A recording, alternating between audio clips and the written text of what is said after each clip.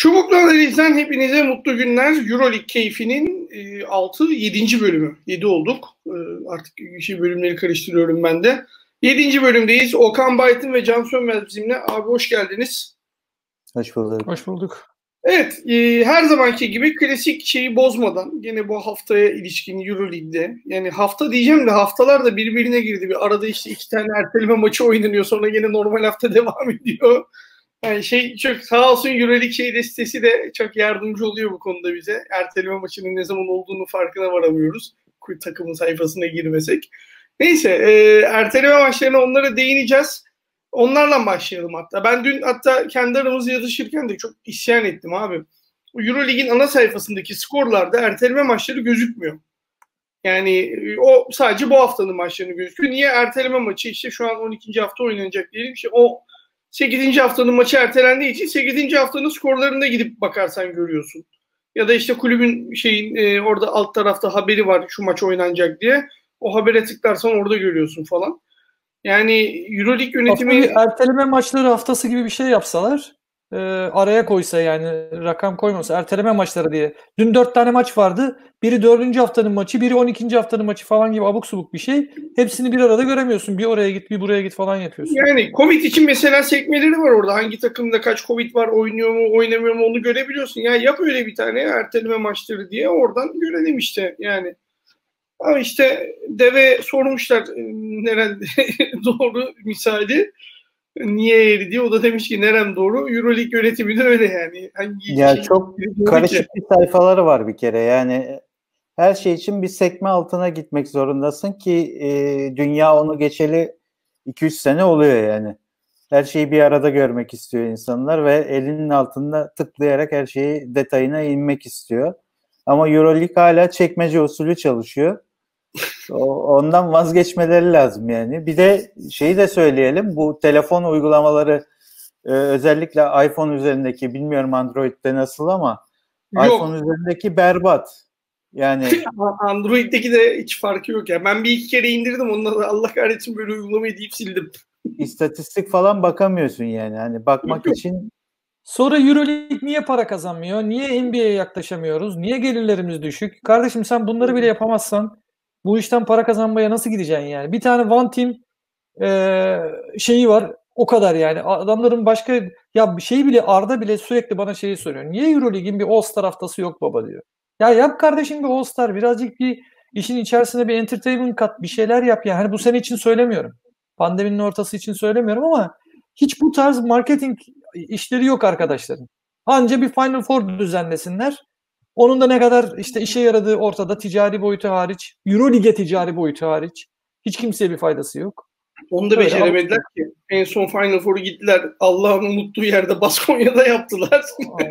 ticari olarak da zarar ettiler. Ya senin ya tamam şeyi anlıyorum. Bizim federasyon da yapıyordu o işi ama hani Türkiye'de federasyonun yaptığı şey doğru. doğru.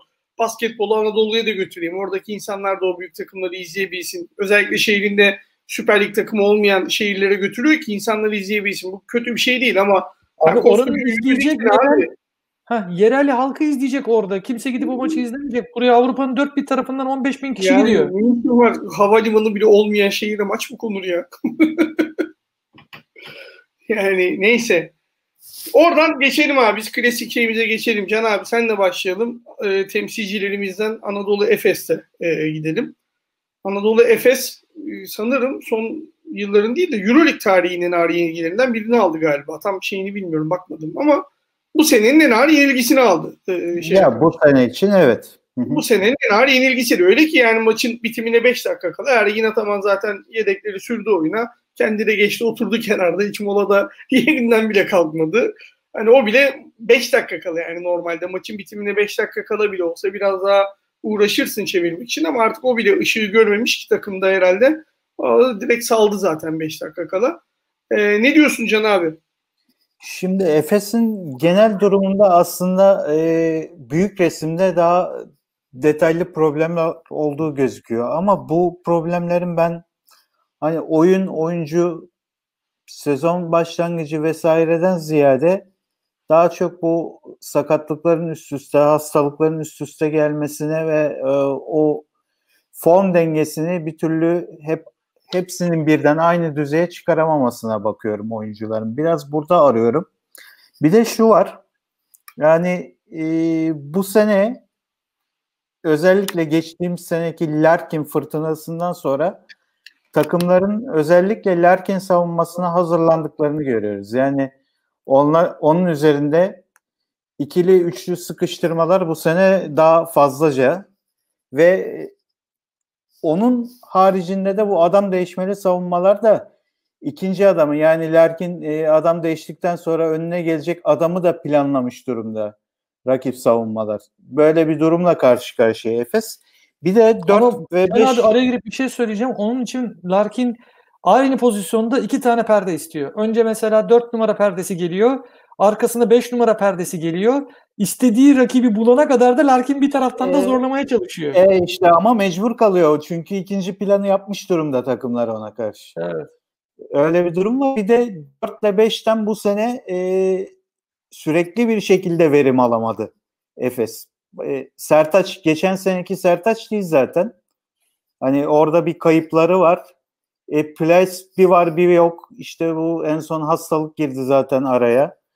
Öyle ya baktığın zaman Dunstan'ın uzun süre uzak kalması. E şimdi bunların hepsini bir araya getirdiğin zaman e, Efes eğer uzunlarını içeride kullanamazsa iç dış dengesini kolay kolay toparlayamaz. Bir kere uzunlardan muhakkak surette katkı alması lazım. Singleton geçen sene oynadığı oyunla bu sene oynadığı oyuna bakıyorsun. Bu sene sahada dolaşıyor. Sanki uyku uyur gibi bir hali var. E, o nedenle Efes'in bir takım sıkıntıları ortaya çıkıyor ama Baskonya'ya da e, bir satır bir cümle söylemek lazım. E, Duşko hocam da iyi hazırlanmış maça. Yani Efes'i nasıl durduracağını çok iyi planlayıp çıkmıştı. Ki bir de Vildoza yoktu yani. Onlar bir de Vildoza yok. Kendi ana rotasyonlarından en ciddi eksikle geldiler. Gerçi o biraz rahatlık e, Baskonya için. Çünkü Pierre o zaman bütün işin kendinde olduğunu bildiği için biraz daha hakim oynuyor. Maça biraz daha hakim olarak oynuyor. Çünkü bütün iş bende diyor. O sorumluluğu daha rahat alabiliyor. O avantaj mıydı, dezavantaj mıydı tartışılır. Ben şimdi Can'a ben de sana katılıyorum ama e, şöyle bir şey de var. Şimdi mesela Sertaç'ta yok, yok. Sertaç yani daha biraz daha erken döndü ama Sertaç da Covid'ti. O da daha yeni yeni e, şey yapıyor. Plyce daha yeni çıktı şeyden, Covid'den, hastalıktan. Yani şimdi bunu da tabii konuşmak lazım. Yani insanlar işte sporcular bizim gibi değiller. Çabuk yakalanıp patlatıyorlar diye düşünüyorum ama öyle olmuyor işte o yani. Ciddi e, şey veriyor, hasar veriyor oyuncular. O eski ritimlerini bulmaları öyle hemen iki maçta olmuyor.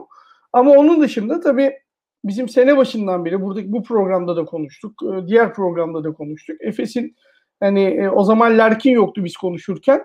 Hani e, Larkin gelecek, bütün iş çözülecek gibi bir sorun yok. Efes'in başka sorunları da var diyorduk saha içinde.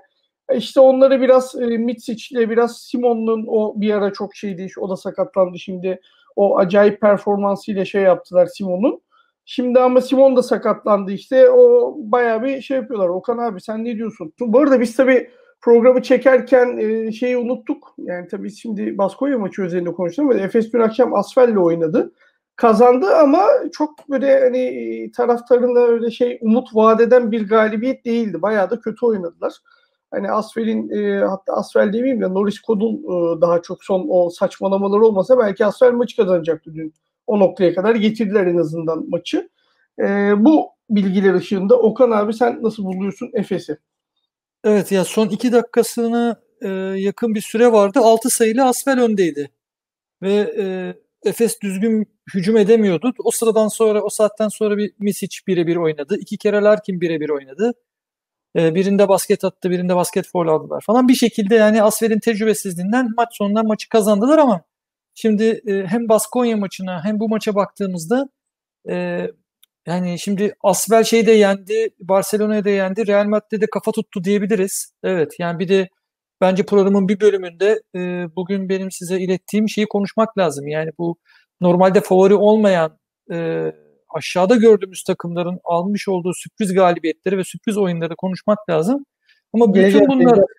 Evet bütün bunların yanında Efes'in şu anki durumunun e, bence daha da önemli.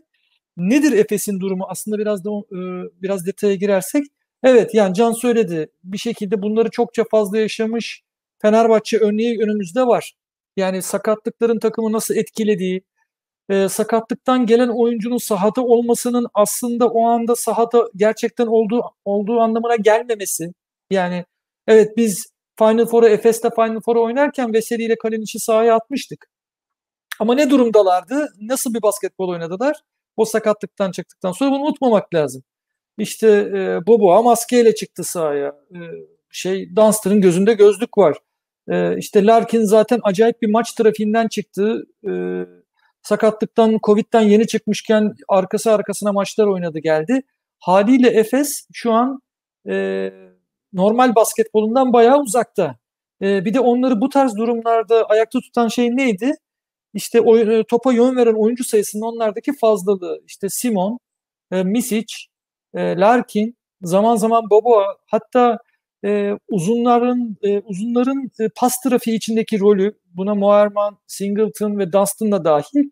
Yani Efes aslında e, hücum akışkanlığı açısından ligin en rahat takımlarından biriydi.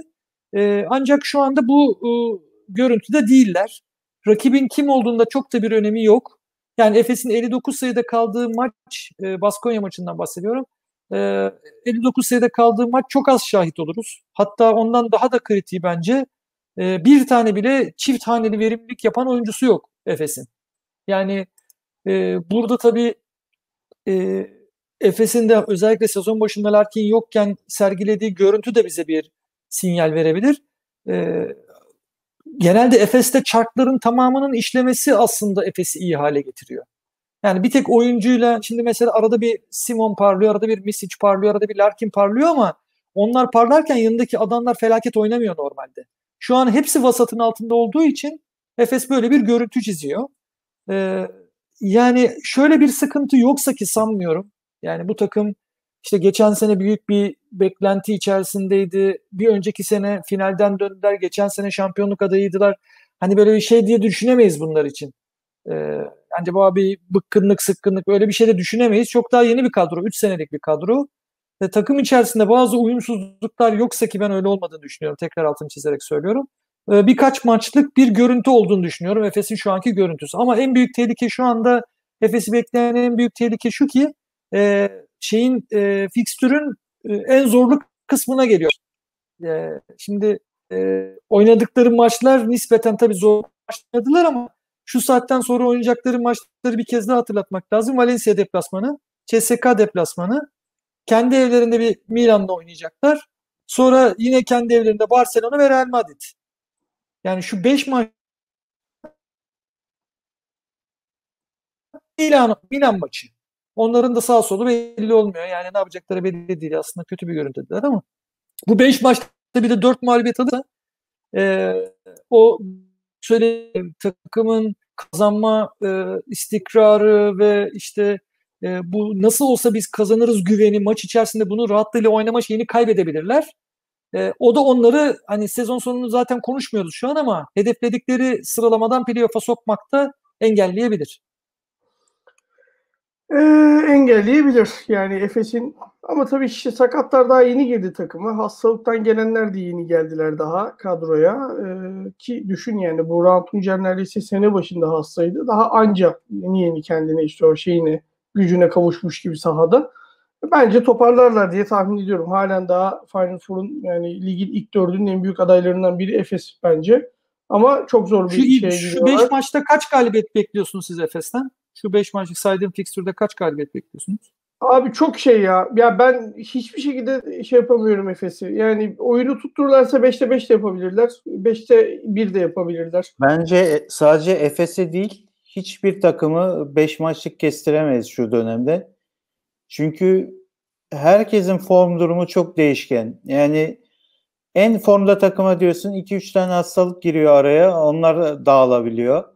En formsuz takıma bakıyorsun bir anda 2-3 tane oyuncunun katılımıyla o hafta çok düzlüğe çıkabiliyor. Yani biraz garip bir sezon yaşıyoruz aslında o güç dengesi açısından.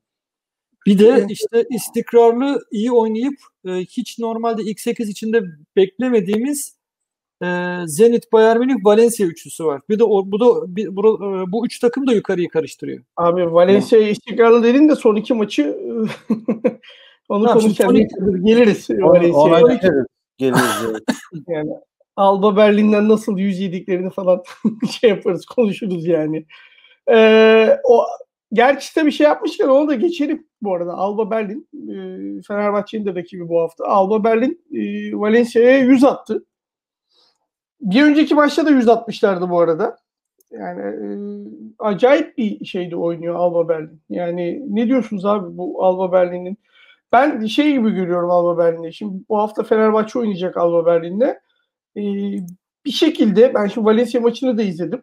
Tekrarını izledim sonradan bulup.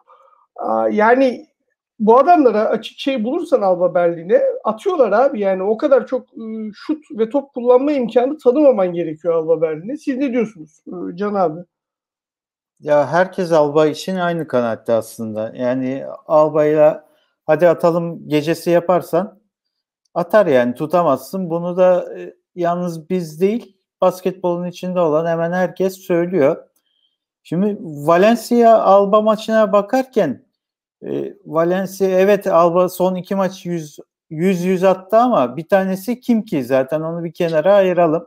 Onu Yani- ona da gireceğiz abi. Ha, Yani Kimki'yi bir kenara şöyle ayıralım. Çünkü Kimki defans yapmayacağım. Ben basketbolu böyle oynayacağım anlayışında bir takım. Şimdi o takımın 100 sayı yemesi e, bir kenara koyalım dediğim gibi. Valencia'ya döndüğümüz zaman da Valencia'nın şimdi kazandığı son 3 maça bakıyorsunuz. Panathinaikos, Maccabi, Fenerbahçe. Ya bu 3 maçın üçünde de aslında Valencia ben atarım kazanırım dedi. Alba maçına çıktı gene atarım kazanırım dedi. Bu sefer olmadı. Yani e, Valencia da çok böyle savunmasıyla ayakta duran bir takım değil. O görüntüde değil. Yani biraz e, maçları skorlu ve pozisyonlu geçiyor. E, bunun da bir handikapını yaşadılar Berlin maçında. Okan abi sen ne diyorsun Alba Berlin için? Hem de zaten biraz da işte şey de değinmiş olalım bu vesileyle Fenerbahçe Alba Berlin maçına. Tamam, önce Valencia'ya sordum diye düşünüyorum. Ee, Yani ikisi de değil işte. Yani bir düşünüyorum. çıkar. İkindi Alba Berlin'de. Şimdi Valencia'dan bir bahsedeyim çünkü benim de sezon başından beri dikkatimi çeken bir takım. Şimdi e, şöyle bir takım Valencia. E, bir numaranın yediği bir numara, iki numaranın yediği iki numara, üç, dört, beş. Burada herkesin görev tanımları belli. Hatta ve hatta dakikaları belli. Ya öyle bir çark ve öyle bir düzen kurdu ki Valencia tam bir koç takımına döndü aslında. Hiçbir oyuncu ön plana çıkmıyor. Bütün oyuncuların rolleri paylaşılmış durumda. Şimdi bu çark ve bu düzenin içerisinde aslında her şey çok daha ideal gibi görünürsün. Yani bir oyuncuya bağlı değilmiş gibi görünürsün ama öyle olmuyor. İşte Labeyri sakatlandı. E, iki maçtır büyük problem yaşıyor Valencia. Çünkü bir de şöyle bir gapleri de var tabii. Valencia, e, Labeyri ile beraber dört numarayı paylaşan Derek Williams e, çok yakından tanıdığımız tamamen bir savunma faciası bir arkadaş. Dünkü maçta yine ben dün izledim. Hatta akşam izledim, sabah bir daha izledim. Senin dediğin gibi tekrardan izledim. Ya bu kadar kötü show-up'a gelip bu kadar kötü pick and roll'da yukarı geri dönemeyen nerede olduğunu unutan e, boşlukta yaşayan bir adam olamaz. Yazık yani. O takımı darmadağın ediyor. Zaten o yüzden normalde e, şey maçında e, Valencia'nın bir önceki maçında e, hatırlayamıyorum şu anda hangisi olduğunu. E, o maçta şey yaptılar. Yani 25 dakikaya falan yakın süre verdiler. Bu maçta en son maçta e, açayım şuradan da öyle söyleyeyim. Ezbere konuşmayayım. E, uzatma maçı uzatma ma- dün oynanan maçı söylemiyorum. Zenit maçını söylemiyorum. Heh, e, bir önceki maçta 15 dakika, bir ondan önceki maçta 25 dakika oynamıştı. Gittikçe süresini azaltıyorlar. Hatta işte e, alternatif de yok. 19 yaşında bir oyuncuları var 4 numarada oynatabilecekleri e, şeyin yerine e, Labeyri'nin yerine mecburen Kalinic'i 4 numaraya çektiler. Ama bu onların bütün düzenini bozdu. He, özellikle bir de 4 numara onlarda aslında kli- çok kritik bir rol e, üstleniyor. Hem dışarıdan üçlük e, atması lazım hem atletizm kazan katması lazım takıma. İşte bu yüzden biraz sıkıntı yaşadıklarını düşünüyorum. Alba maçında zaten Alba ga- galiba onlara 17 tane falan üçlük attı. Yani e, inanılmaz bir üçlük performansıyla oynadı. Şimdi Hemen gelen söyleyeyim Alba abi. Evet 32'de 17 üçlük. evet yani dehşet bir üçlük attılar ki Alba bir önceki Kimki maçında da 12 tane üçlük sokmuştu. Yani- Bırakırsan atıyorlar abi adamların Evet. özelliği bu. Alba Berlin aslında şöyle bırakıyorsan atı- atıyorlardan bir nebze daha öte bunlar keyif basketbol oynuyorlar tamam mı? Acayip bir tempoyla e, acayip bir e, yarı sahayı hızlı geçmeleri ve yani o birçok takım bunu uyguluyor ama Alba gibisi yok. Yani bunlar ceza sahasını geçer geçmez ceza sahası nereden çıktı? Yarı sahayı geçer geçmez e, perimetrenin oraya geldikleri anda kaldırıp atıyorlar. Ve eğer bu da rakip de buna izin verirse yani atmasından çok o tempoya izin verirse o yüksek tempo içerisinde Alba Barcelona'yı da yener. Real Madrid'de kafa tutar. E, Efes'i de yener. Herkesi yenebilir yani öyle bir takım ama biraz olsun tempoyu düşür. Biraz olsun bunlara o şut e, ritmini sağlama. E, kapasitesi çok sınırlı e, sıradan bir takım haline dönüşüyor. Şimdi biz e, bu maçta aslında yine bir coaching testi daha yaşayacağız bence Fenerbahçe olarak. Ee, bu, bu buna önlem alabilecek mi, almayacak mı Kokoşko göreceğiz. Yani eğer bir şekilde ekmeğine yağ sürerse hani normalde sezon başında galibiyet ya iki galibiyet yazdığın Alba maçlarının ilkinden mağlubiyetle dönebiliriz.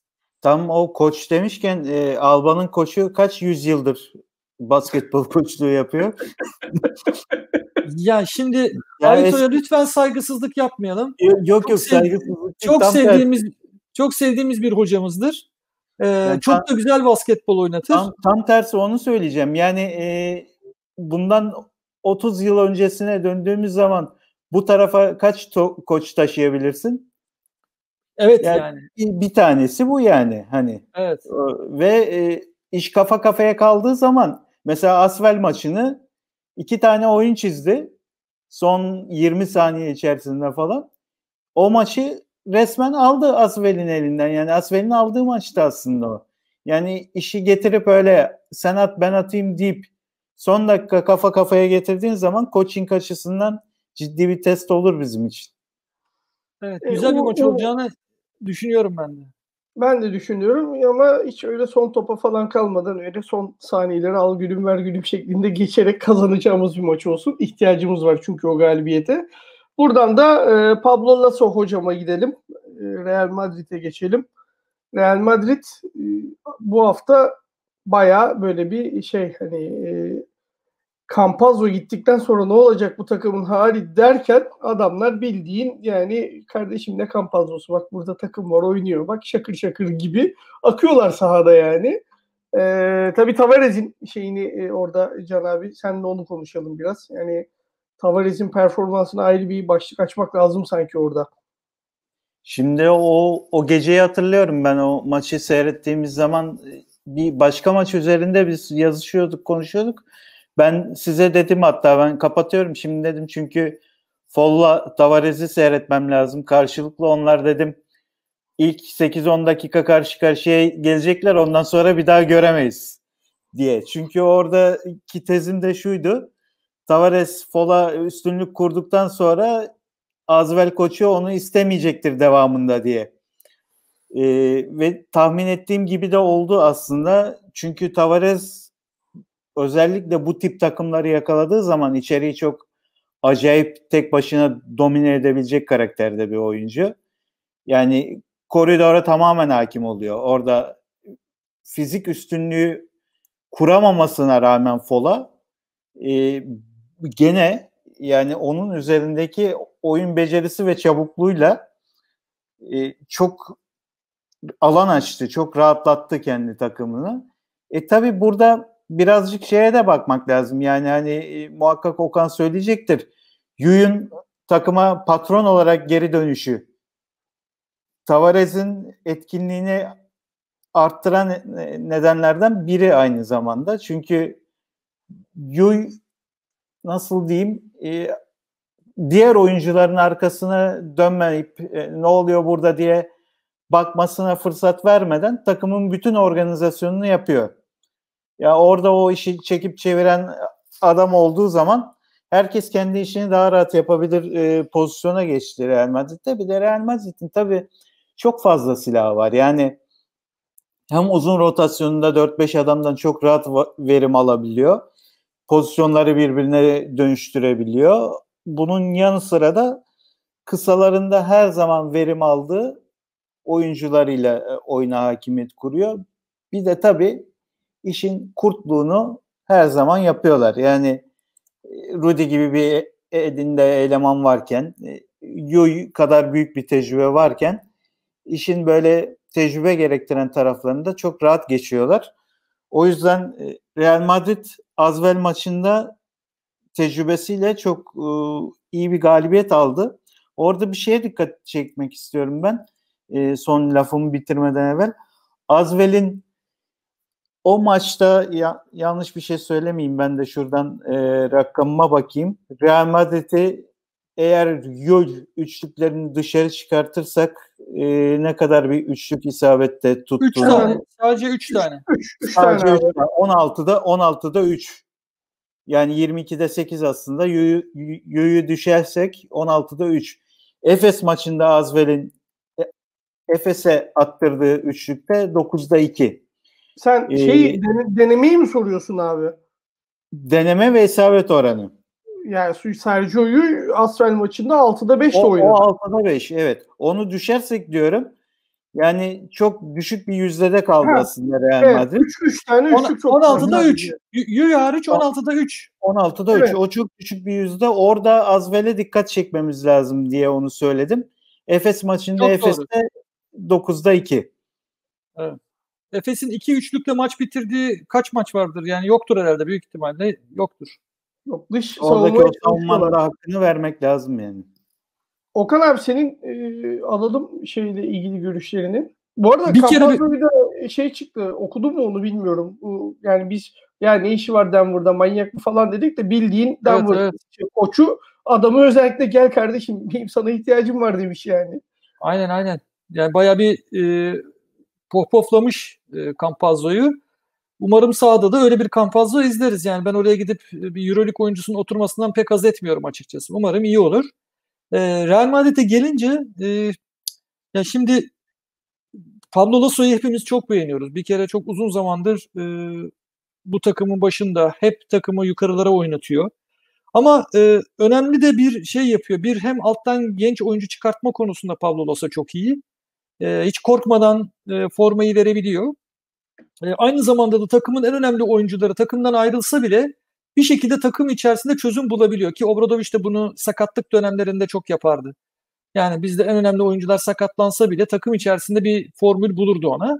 Ee, şimdi de işte Doncic gitti, Campanzo göreve geldi, bir şekilde halletti.